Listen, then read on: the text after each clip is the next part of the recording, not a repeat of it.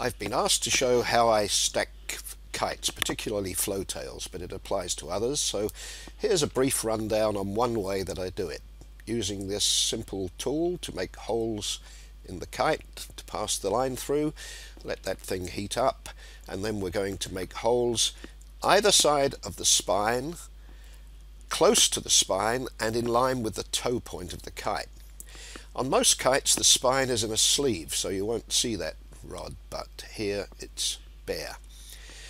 From the front of the kite, make the hole big enough just to pass the line through, as I said, close to the spine, and then do exactly the same on the other side of the keel, close to the spine, not too close, and then you need a hole through the keel itself so you can pass the line through. Now the connecting line will have loops at both ends, but it's best to tie those after you've put the line through. Makes it easier. I've done the opposite. From the back of the kite, pass the line through one of the holes you've just made, turn the kite over, pass the line through the hole in the keel, and then you can pass it back through the other hole. Pull the line through a bit, turn the kite over and tie the loops if you haven't got them already. Pass one end of the line through the loop on the other end and pull it right through.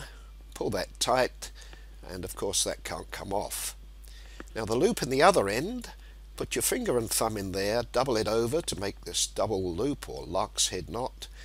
Put the tow point of the next kite through there, pull that tight, and you're all connected up and you're ready to fly. The length of the line should be about twice the length of the wingspan of the kite.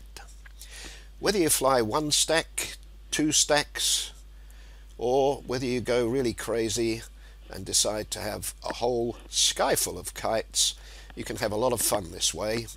There are other ways of doing it. You can experiment, find your own way, do what is whatever's best for you. But the important thing is have a lot of fun.